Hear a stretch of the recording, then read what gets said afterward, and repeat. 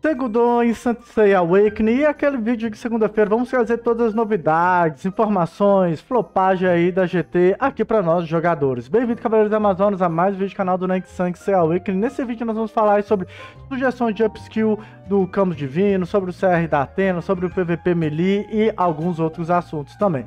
Beleza? Então essa aqui é uma imagem que saiu vazado, né, ontem e tal, do Camus Divino, que será aí o banner, quando eu estou gravando esse vídeo ainda é antes das 10 da manhã, beleza? Mas vamos contar que o Camus seja o banner. Se ele for o banner, fica ligado, ele vai vir na época antes do Gatinho da Fortuna, né? Ele virá dia 1 o Gatinho da Fortuna dia 6. Fica ligado referente ao seu gerenciamento de gemas.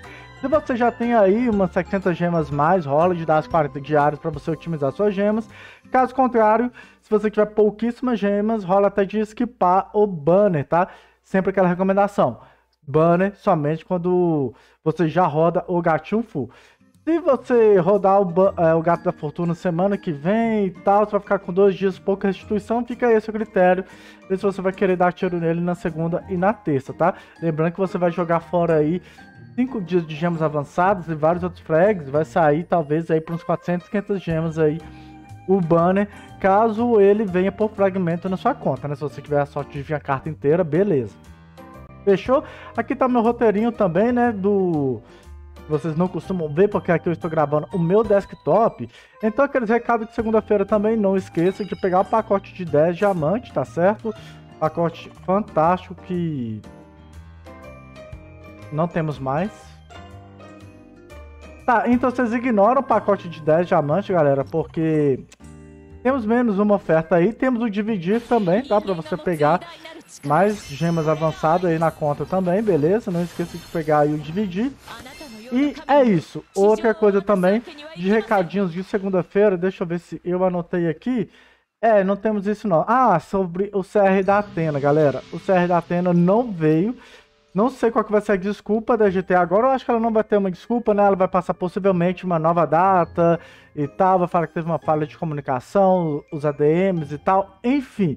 Né? Isso aí já é problema dos desenvolvedores, desenvolvedores não, da galera que coloca aí a atualização do jogo e não está colocando. O que que isso muda pra gente? Nada. Não incluir aqui a, a Deus Atena. Quem continua com o CR da Deus Atena vai continuar tendo. Quem não tem vai continuar sem ter também, é o meu caso. E é uma vantagem principalmente para quem ainda não tem as poeiras para Deus Atena, tá? Esses são os jogadores mais beneficiados de a CR da Atena não aparecer aqui, porque vai ter bem menos jogadores com CR da Atena, com a conta com mais PV, né, por causa do bônus de pavilhão. Então, para jogadores, principalmente que tem poucos meses de conta, tem dificuldade aí para pegar as poeiras divinas, que demora pra caramba isso daqui. Aí, o CR da Atena é vantagem para eles, quanto mais a GT postergar, né? Mas enfim, vamos ver quando, o que, que eles vão lançar amanhã também sobre é, informações disso de oh, a gente vacilou aqui internamente. Enfim, eu já nem ligo mais se vim, se veio, se não vim, vida segue. O próximo assunto aqui, galera, é sobre o aplicativo da GT, tá? Tá lançando um novo, já lançou na verdade, tem uma semana foi aí um inscrito do canal que mandou para nós, o Johnny. E, o, e esse evento é o seguinte: você vai entrar aqui na página de login diário, tá certo? E tem essa parte aqui, ó, Topic PK. Venceu, ganha pontos. Eu acho que é isso a tradução. Eu não sei quais são as recompensas, porque eu só estou participando. Tem uma vez, tá? Que eu participei desse evento. É um evento de enquete, já teve três enquetes aqui, ó. Só que eu não participei. Tô participando dessa enquete, tá vendo que tem uma data aqui, deixa eu ver, ó. Termina 64 horas. É, é, três dias, pelo que parece, essa enquete. Aqui tava falando, cadê aqui a tradução? O que, que você prefere? Personagens mais realistas ou mais cartoon, né? Que eu chamo de chibi aqui também. Eu coloquei realistas aqui, por enquanto eu estou vencendo. Eu acho que quem vencer vai ganhar recompensa. Eu só votei, não ganhei recompensa nenhuma nesse evento, tá? Tá aqui, ó, escrito mensagem para ganhar 150 pontos de GT. Eu não sei se isso aqui vai ser a recompensa. Tem que aguardar aí o momento de terminar, então fica ligado. Acesse o seu aplicativo da GT no seu celular, baixa lá caso você não tenha. Eu vou deixar nos cards também o vídeo de tutorial, né? De aplicativo da GT. Lá eu não falo sobre as tarefas também, que, que nós temos missões extras também sobre as tarefas. Faz aí as tarefas tá? E é isso, beleza?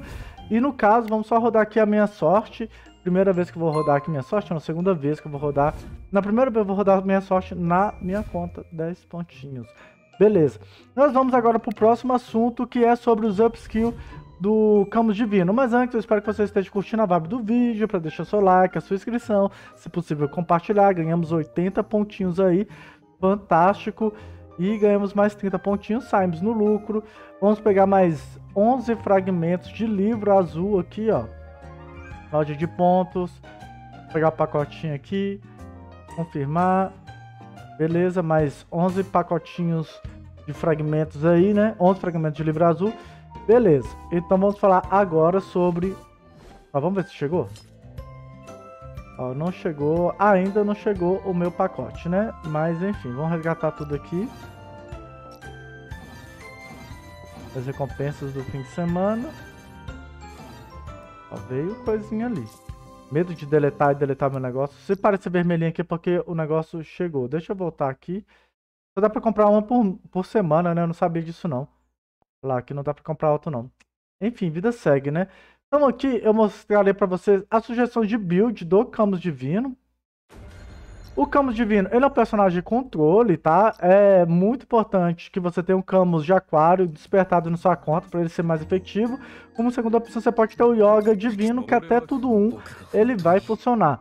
Lembrando que para mais informações sobre counters, que tem bastante counters, sobre estratégias de ele mitar aí na sua comp, você montar umas comp e estratégia com ele, vou deixar também nos cards a review do Camus Divino, beleza? Então bora lá. O, se o treinamento não tiver alterações, ó, uma build mais barata do Camus Divino seria 1133 para você ter uma restituição. Isso aqui é bem flop, tá? Ah, é, eu vou fazer o vídeo dele, provavelmente deve sair na quinta-feira. Se o banner dele sair, que eu vou dar os tiros dele na quarta-feira, vai sair vídeo, vou fazer uma live testando ele tudo um, tudo três e postarei na quinta-feira.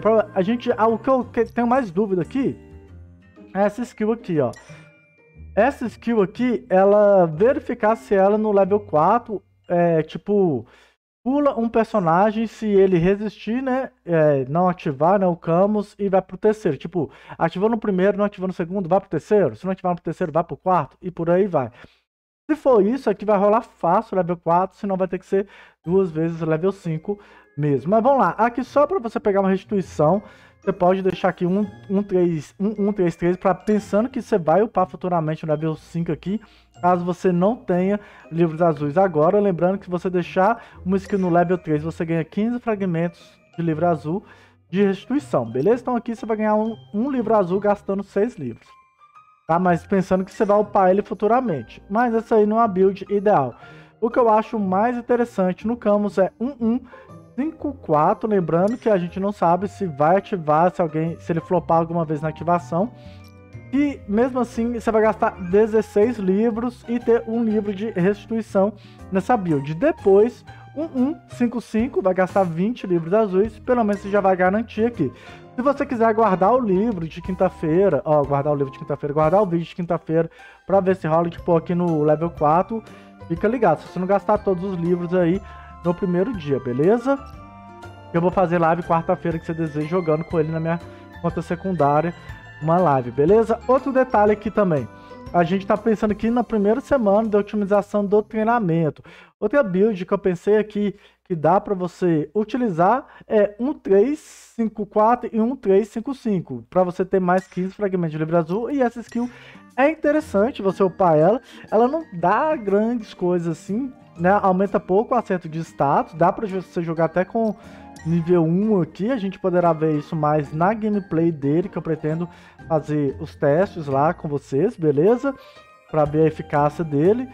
Mas é, é, assim, muda pouco, mas é só para ter um fragmento e isso pode ser, alguns momentos ele pode congelar mais, mas não vai ser aquele uau, o que vai mais incomodar essa skill aqui vai ser a Saori Kido, que tem a resistência de status aí bufando a formação inteira inimiga, beleza?